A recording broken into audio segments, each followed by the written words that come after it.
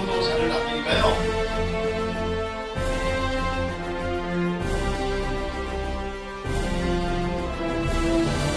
네, 이것도 이제 오랜만에 또 여러분들 함께하겠습니다.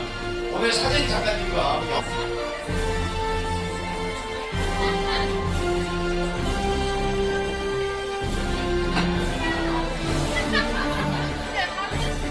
지금부터 시작하겠습니다.